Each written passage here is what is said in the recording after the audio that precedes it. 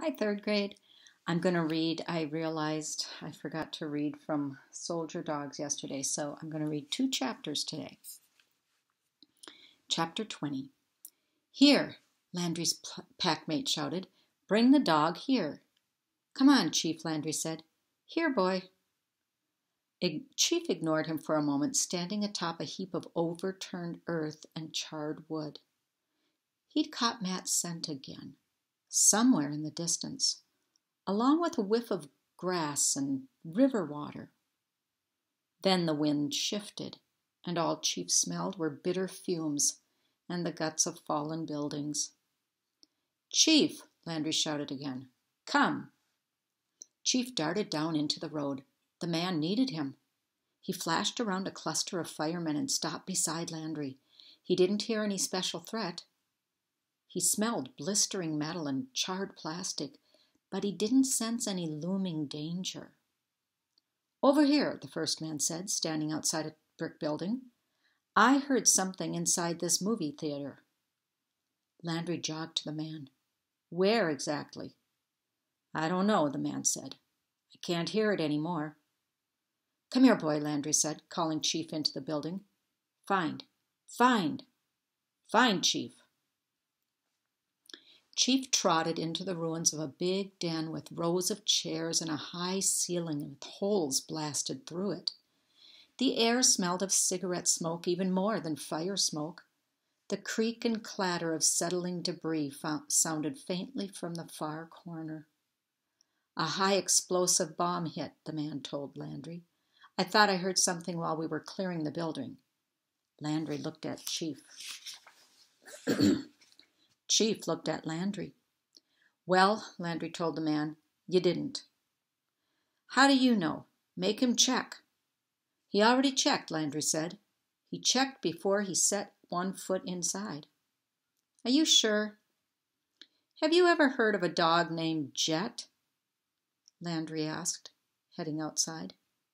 He's a German shepherd like Chief here, with maybe a little collie in him, too. Chief looked up at the sound of his name. Landry didn't seem to need any help, though, so he paused on the sidewalk to listen to the rest of the street. Jet's an English dog, Landry told the man. They say he rescued a hundred people during the Blitz when the Germans bombed London. A hundred people. You're pulling my leg. Hmm, maybe even more.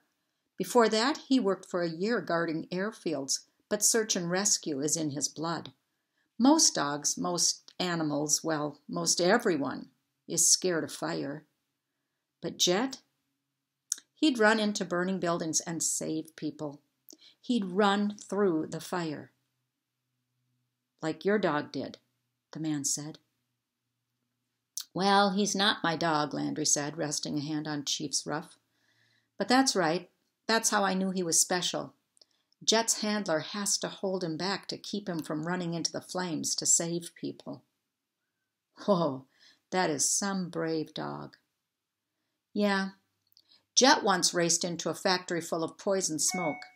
His nose is so good he found the one survivor in the entire place. You think Chief's like that? Like I told you, Landry said. He's a natural. He's He's running off, the man said from behind Chief as he loped toward a sudden gust of the metallic smell of blood. Why did humans spend so much time yipping at each other? Couldn't they hear the far off whistles through the smoke? Couldn't they smell the human fear scent wafting from down the block? Chief scrambled over a pile of rubble. A sharp metal edge ripped out a hunk of his fur, but it didn't cut his skin. He barked for Landry and the other man to hurry up. I'm coming, Landry yelled. I've only got two legs. Chief rounded a corner and found two women helping an injured man. He trotted closer and sniffed the air. He smelled more injured people. The women already knew about them, though. He could tell because of the scent trails. Hello? Landry called to the women. Army here. Do you need help?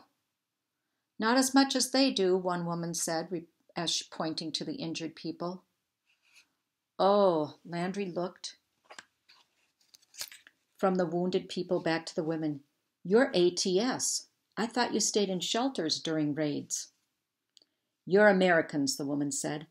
I thought you stayed in cowboy hats. Landry laughed and helped the women tend the wounded people. Chief watched approvingly for a moment, then he cocked his head as a far off whistle sounded sharper and closer. Chief started to bark a warning, then caught the faintest whiff of Rachel. Where was she? He inhaled deeply. He smelled Matt too, and a musky dampness. Not too far. But the whistling grew louder, dragging his attention back to his surroundings. A shrill, deadly sound falling directly toward this street. Fire rocks were going to hit Landry and the women. Chapter 21 Matt tried to pull away, but the German's grip was too tight. Now we're back to Matt and Rachel trying to get away from the German soldier who they rescued. They didn't really know he would be so dangerous. The man's eyes narrowed. Blood oozed down his cheek, and water dripped from his flight suit. But we saved your life, Matt said. And for that I thank you, the German raised his voice. Girl, show yourself. Come here, or your brother will be sorry. Matt tried to kick the German, but missed. Run, Rachel! Enough, the German shook him roughly. I don't have time to waste on. Thunk! The German blinked at Matt. He released his grip and he swayed. Matt ripped free from the man's loosening grip, and there was Rachel standing behind him, holding the thick branch like a baseball bat, just like Matt had taught her. She had clubbed the German soldier in the head. When Rachel pulled back for another swing, the German spun around toward her. He swore and knocked the branch from her hands. Matt tried to kick him again, and this time he succeeded. The German, still tangled in the cord, stumbled a few steps. Run! Matt shouted to Rachel. Come on, come on, come on! He dashed past the German, grabbed Rachel's wrist, and raced into the darkness. A tree loomed. Bushes tugged at his pajama legs. Footsteps sounded behind them. A sort of shuffling drag as the German limped, but still moving too fast, too fast. The German soldier was gaining on them. A wall loomed in front of Matt. He yanked Rachel to one side and lunged through a doorway into an alley. He couldn't tell which way to go. He was too scared to focus, too scared to think. He ran blindly ahead. Were they on Bierkart Lane? St. Margaret's Street? He didn't know. He couldn't tell. Sirens and shouts filled the air, engines and explosions and smoke. More bombs were dropping, more bombs than ever. Another wave of German bombers flew overhead, dropping hundreds of bombs and high explosives. Yet the loudest things were Matt's pounding heartbeat and the scuff of footsteps behind them. He and Rachel sped around a corner. They raced across a street. Matt pulled Rachel into the thicker shadows of a building and risked a peek over his shoulder. He didn't see the German. The streets looked deserted and shuffle, drag, shuffle, drag. There, he heard him. The German was prowling forward. His knife gleamed in the reflected light from the fires. We need to find soldiers, Matt pulled Rachel faster down the street, or firemen. Then we should run toward the flames, Rachel's braid flapped wildly around her shoulders. That's where the firemen will be. That's the worst idea I've heard. So, what should we do? We should run toward the flames. You're right, Matt said, stumbling to an intersection. Just like you said. The terrifying whistle of falling bombs sounded all around and above them. Every street looked like a minefield. If they took one wrong turn. It's another wave of bombing, Matt said. The biggest one yet. Where's the fire? Rachel asked, blinking at the rooftops. After taking a nervous glance behind them, Matt peered into the smoky sky. An orange glow gleamed on the thick smoke, suffocating Canterbury. But where was the glow brightest? Matt couldn't tell. He looked for the cathedral steeple, but he couldn't even see the roofs of the buildings surrounding them. He hoped his parents were still in the shelter, safe. He hoped that Chief.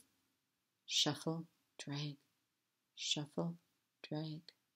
The sound of the German's limping footsteps came from a cloud of dust and smoke billowing down a nearby street.